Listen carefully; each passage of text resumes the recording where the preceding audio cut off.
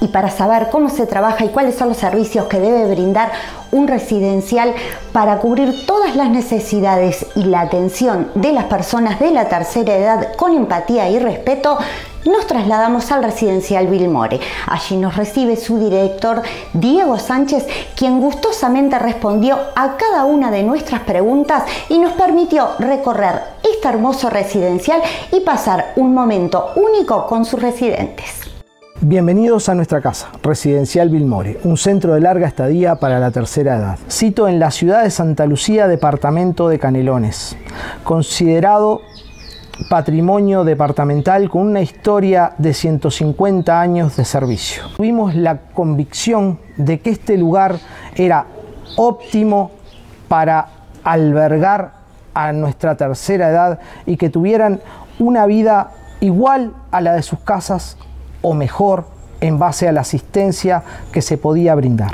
Contamos con un equipo multidisciplinario de varios profesionales, dentro de los cuales paso a destacar nuestra directora técnica, fisioterapeuta, que hace una asistencia permanente y seguimiento a todos nuestros pacientes, nutricionista, que valora, evalúa y arma los menús tanto los generales como los particulares para cada una de las patologías, psicóloga, contamos con una enfermería a nivel sanatorial, manejamos todos los lineamientos que se plantean a nivel de las reglamentaciones de salud pública, desde el sistema de monodosis para cada una de los pacientes.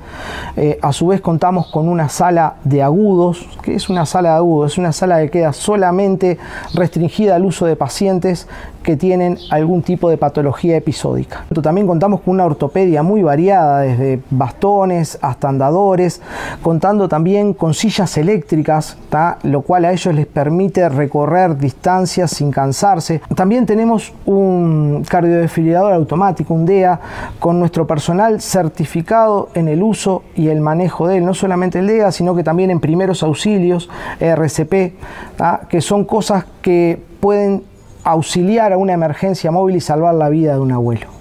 También incluimos un personal extramuros. ¿Qué es el personal extramuros? Es una administrativa que se encarga de coordinar estudios, coordinar fechas médicas, levantar medicamentos. La cocina es la cocina de un hotel en lo que tiene que ver en infraestructura. Ah, contamos con cocineras para cada uno de los turnos, como ya les había mencionado, guiados por una nutricionista. Nuestro objetivo inicial era brindar a nuestros usuarios un lugar de contención familiar, un lugar en el cual ellos sintieran y pudieran llamar hogar. Hoy por hoy lo tomamos como una tarea cumplida, porque es lo que vemos en nuestros abuelos. Ellos lo sienten su casa, su lugar, su ambiente. Y a todo esto nos consideramos un residencial de puertas abiertas. Eh, no tenemos horario de visita, tres familiares por cada paciente, tienen la opción de dejar un registro biométrico en la puerta para poder entrar a la hora que quieran sin ser anunciados. Los abuelos autoválidos cuentan con una llave para entrar y salir en el momento que ellos quieren y al ser un registro biométrico nos da la posibilidad de saber a qué hora entran y a qué, hora salen, que es uno de los requisitos que también tenemos por, eh, por, parte del Ministerio de Salud.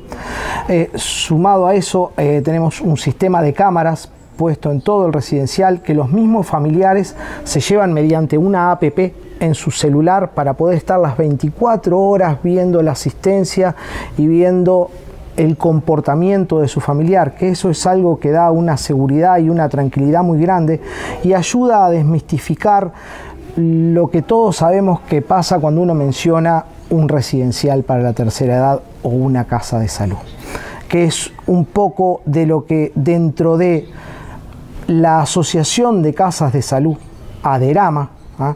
que es una, es una asociación con más de 20, años, 23 años cumple ahora de, este, de formada, se ha buscado, es decir, dar y que la gente tenga en cuenta y sepa que el residencial es la continuación de la vida, es un lugar en el cual ellos probablemente tengan más vida social y más acción que la que puedan tener en sus propias casas.